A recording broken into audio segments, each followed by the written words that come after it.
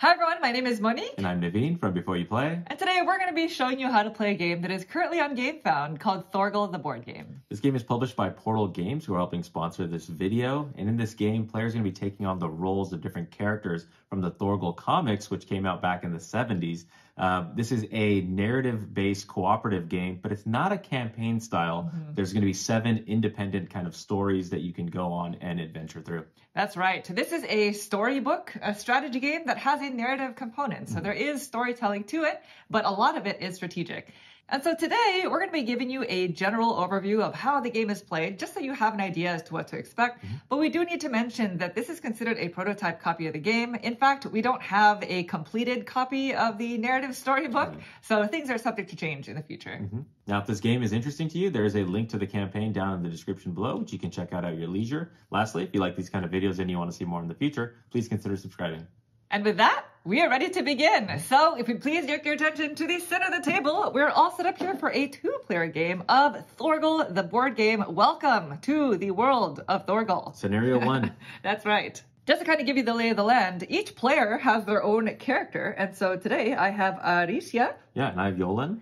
In the middle here, we have the storybook that contains all of the maps that we're going to be using to complete our adventure. Mm-hmm. Now, like we were mentioning earlier, we don't have the completed version of the storybook, and so we're just going to be giving you a brief overview of how this specific scenario works. Sure. Which, by the way, is called Torkin's Temple. That's right. Now, before we continue, we do want to mention that the game is going to come with seven different scenarios, and they're all uh, isolated adventures, meaning they don't come together in a long campaign. Mm-hmm. You play each of them as their own separate game that has their own uh, story, which is also not a choose your own adventure game. This mm-hmm. is going to be more of a strategic game where players need to work together in order to take the actions needed to win the scenario. Mm-hmm. Each scenario has its own card that depicts the different uh, win conditions as well as the lose conditions and any special circumstances that are specific to this uh, scenario. Mm-hmm. And so for our scenario, in order to win, it says we just have to complete any of these following two goals. We can either perform an uprising, Mm-hmm. which will require us to do what it says here, which is basically assigning a certain number of resources to this location or you blow up the temple, right. which requires us to move this track along um, the adventure track. And actually, this adventure track is home to our lose condition. Mm-hmm. so basically, if we're able to move this uh, this token all the way to the left, then we win the scenario. But if it gets all the way to the right, then the temple is built and we lose this scenario. So before you actually embark on these different scenarios, there's a bit of a text that comes in a separate booklet that did not come with our prototype. So that is something to look forward to in the final copy, but that will detail the entire story as to why you're going on this adventure in the hmm. first place. In addition to that scenario, there's also other ways to lose. If any player dies, mm-hmm. then it's immediate loss. Or if you run out of rounds, meaning nine in this particular scenario, then it's another loss. That's right. Now let's take a brief look at the layout of the map. The map is home to several different areas. And so these areas are actually separated by these lines. We have green dashed lines as well as these black solid lines. And so at the start of this specific scenario, the instructions are for each player to place their miniature in any area that has a one on it. So each area is labeled with a specific number, and that's going to determine where you're allowed to move throughout the game. Mm-hmm. In addition, each area is home to a certain number of these locations. And so whenever a character is in a specific area, you have access to all of the locations in your area. Now, of course, over the course of the game, we are going to be going into combat with enemies. And so enemies in this game are represented by these colored chits. The colors are important because not only do they uh, determine sort of the strength of the enemy, mm-hmm. but they are also corresponding to the enemy's deck when we actually have to go and fight them. Now, one aspect that is specific to this gameplay is its use of polyomino tiles. Over the course of the game, we're going to be using polyomino tiles in different ways, including when taking wounds and when determining if a character dies. Now, the way that the game works is each round is split up into two phases. We have the action phase as well as the event phase. And in this specific scenario, we have maximum nine rounds. Mm-hmm. So then starting with the actions phase, each round, players are going to have a total number of four actions, regardless of the player count. Yep. So in a two-player game, players will take turns taking actions, going one by one until all four have been used. That's right. And these are the tokens used to denote uh, the actions that you're taking. And so, for example, if it were my turn, I would take one of these action tokens and place it underneath one of the available action cards in the action row. Now, these action cards are all uh, color coded, but they also have symbols at the top left hand corner that denote what type of action they are. At the end of the round, after all actions have been used and the events phase has been resolved, these action tokens actually stay where they are because in the next round, you're going to be required to move each token to a different action location. Mm-hmm. So now that we know what our win and lose condition are for the scenario, let's talk about the different types of actions you can take to try to achieve your win condition. Starting with the move action, mm-hmm. which is this blue card here. Sure. The move action allows you to move to a different area of the board. The number that's associated with the icon at the top left hand corner tells you how many times you're able to move. So, in general, one movement point allows you to cross the green dashed lines into a different region as long as you're allowed to go to that region. So, like we were mentioning earlier in the video, the number of the area dictates when you're allowed to be in that area. You cannot go to an area that has a number higher than the current round. Right. So, going into this area would be fine. Now, in our specific scenario, we also have these thick uh, black lines, and these are considered impassable borders. So, you may not, under any circumstance, pass these borders. And other scenarios may have other sorts of lines that have different rules, and all of those you just refer to the rulebook for. In addition, we unfortunately have an additional effect up here which requires us to gain a wound. And uh, we'll talk about the significance of these later on. Lastly, each of these cards has a bonus section in the middle here that may or may not alter the main action. Sure. The icon to the left tells you when the bonus is applied. And so specifically for this one that has the number one on it, this bonus is only applied if there is exactly one action chip below the card, So which now. There is right now. Yeah. And so what it does is it allows me to take the craft action with a plus one uh, indicator. And crafting we'll discuss later, but that is generally how the move action works. Now, moving is going to be very integral to uh, getting to the specific locations that you'll need to reach your win condition. Our next type of action is this green card over here, and this is the journey action. So journeying has to do with these terrain cards. We have one already face up at the start of the game, and what this action allows us to do is basically place polyomino tiles on this card in order to gain certain rewards, but also have to face certain consequences. So each player has their own individual journey track, and mm-hmm. depending on which player is going to be taking this action, you're going to be able to select polyomino tiles depending on what's depicted, where your cube is kind of indicating, mm-hmm. and you're going to place them out onto this journey tile or journey card right here. And so, in general, when placing out these tiles, the goal is to continuously move uh, your journey track from left to right mm-hmm. because you're going on a journey, progressing through these terrain cards, right? Yep. Each tile that you add has to be connected uh, to the furthest rightmost tile so that it's constantly going uh, to the right and never to the left. And so, if I were to place uh, these tiles right here, I would also gain any of the benefits of the spots that I've covered up. And so in this case, I would take a wood because that is the specific good that's there. I would also have to deal with the uh, consequences of whatever the yellow spaces are. Right. And so each card is going to have a key at the bottom of it that tells you what happens when you cover up a red spot and what happens when you cover up a yellow spot. And for our specific terrain card here, when you cover up yellow spots, you gain wounds. So it's not great. Not good for you. One important concept to consider is anytime you cover up a space that looks like that, that is referring to the good that the area you're in produces. Mm-hmm. And so each number uh, in the different areas shows you a specific good that it produces right underneath it. So if I were to produce where I am right now, I would gain, I believe that's a stone. Stone. this good. That good? Mm-hmm. Mm-hmm. And as soon as you're able to place tiles so that it touches the column that has this symbol at the very top, then you actually place out a new terrain card.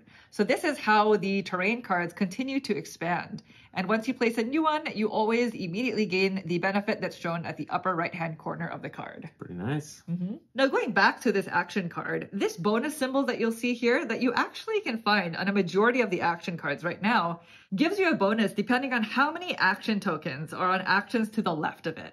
So this is not going to help us right now Not possible. because it's a card that's on the leftmost side. Right. But if we could put it into effect, it would gain us one good uh, that's matching an icon that you covered. Mm-hmm. Now, moving on to the next action, this is the collect action, and it has uh, a lot of similarities with the journey action. Sure. Because when this one, you are still placing uh, tokens on the terrain card, but the exception is you're only going to be covering up one square. Mm-hmm. But basically, you get to place this one square token on an uncovered goods space or one of these spaces, and it'll allow you to take a number of goods equal to whatever that number is there. Mm-hmm. And this is a really good way to get multiple goods in just one action. That's right. Because when taking this action, you're only ever allowed to place out one of these tokens. Mm-hmm. But had we taken this action before taking this one, Right. then we would be able to gain two of those goods. Right. Because it would give us an extra uh, bonus good. Mm-hmm.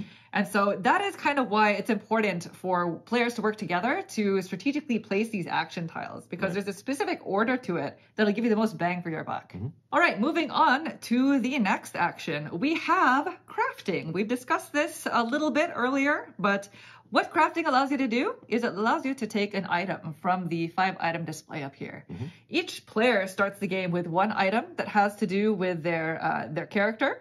And these are basically one-offs. You can you use them when the time is right, and then you discard them. And so on the item cards themselves, they will actually show you uh, the symbol that matches an action that you're going to be using the item card in association with. So when taking the craft action, you can take a number of items equal to whatever the number is on the action. Unfortunately for us, just taking the action right off the bat will not allow us to take any items. No. So this is an action that you're going to want to take a little bit later because of its bonus. So if it were to look like this, when I go to take this action, I can now take two items from the display. Mm-hmm.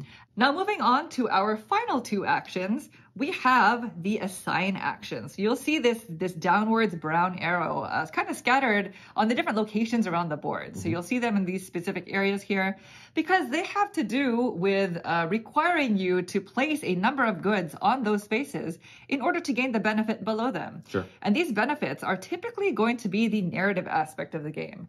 They pertain to uh, specific entries that you're going to find in the narrative book that we don't have available, as well as uh, new types of actions that you can use to upgrade the actions in your action line. So assigning goods to these locations and fulfilling their requirements is a good way for you to gain stronger as a team. When assigning goods, you can assign them to any of the locations that are in your area, but they all must go to the same location. And they cannot be assigned to a location that has an enemy token on it. Sure. Which means locations such as this one right here, as well as uh, here, these are not available for you to actually assign to until you defeat that enemy. And also, as a reminder, one of our win conditions is to assign more of the blue uh, goods resources to the rebel space here. Then there are enemies on all of the B ruins locations combined. And so, in order for us to make that win condition, we need to take this action to assign those goods to this location. There's a total of eight enemies in all the B locations, so Mm-hmm. we need to assign a lot of that blue resource to this location. or we need to defeat more enemies. And so that is our last type of action going into combat. Taking this action allows you to choose an enemy token that is in your area. So if I were here, I could only choose this one right here. And then I would draw a card from their corresponding deck. So we have that card here already because this is from the green deck. The enemies are uh, leveled. And so it goes green, yellow, orange, with red being the strongest. And I believe there's a purple mystical, really, really strong It's the fifth um, enemy. Enemies can get upgraded and downgraded, but in general, the way that combat works is you're going to look at your combat dial, which starts on one. Not very strong. Not very strong, No. but it does tell you what type of dice uh, you are allowed to roll when going into combat. And so, like Naveen was mentioning, this, these are not a secret. No. You know what all the die faces are ahead of time, so you'll know what your chances are. Sure. And after you roll the dice, it'll show you a certain combination of polyomino tiles to take from the supply, and those tiles you get to assign to the enemy card. Now, your goal when assigning those tiles to this card is to uh, cover up the broken heart spaces, because if you're able to completely cover them, um, with just those tiles that you are given, then you win and you defeat the enemy. The enemy token gets removed from the board. This looks unsuccessful. I mean, who knows, right? And the reason why Naveen is saying that,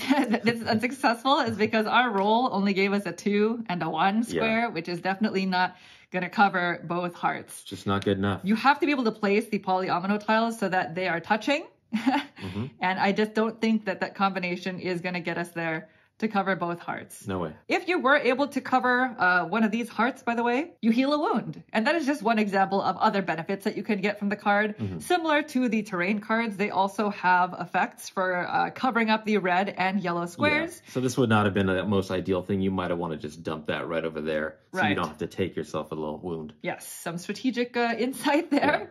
And so, like Naveen was mentioning, this is not a winning combination. If it were to look like this, we would actually take a wound for each uh, visible heart that we were not able to cover. But that is, in general, how combat works. Since we're on the topic of wounds, uh, we promised that we would get to this later. These are wounds. You can only have five of them. And so each time you have to take a wound, you actually have to take a polyomino tile of size equal to how many of these you currently have. Yeah. So if I were to take another one of these, then I would have to take a size 2 polyomino tile and place it on my player board. Now, these tiles have to be touching. That is pretty much um, the main rule when it comes to placing these in your space. But if at any time I cannot fit the polyomino tile on my board, then we automatically lose the game. That's how you die. because my character dies. Yeah. So it's uh it, it's a bit tough when when having to think of it this way. Mm-hmm. And that's about it in terms of the basic actions as well as the action phase. Mm-hmm. Now, we just want to re-emphasize and reiterate that these are not the only actions that you're going to be seeing throughout the course of the game. Sure. You will also be able to upgrade these actions and make them stronger. Right. And so you'll be able to do a lot more with the gameplay than what we were able to demonstrate here. Mm-hmm. And then each round, we're going to be resolving one event card from either of these two decks, depending on if we've met the criteria. And so in this specific scenario, it says if there are at least three of these uh, specific uh, symbols combined that are uncovered on terrain cards, then you draw a card from this deck. Otherwise, if this is not true, you would draw from this deck. These two decks are similar in different ways, but I believe they have their own characteristics that will only be apparent through multiple plays. Sure. Event cards look like this. They'll have an immediate uh, action, which says you have to place a luck on the action card with the most action chips that will make that unavailable.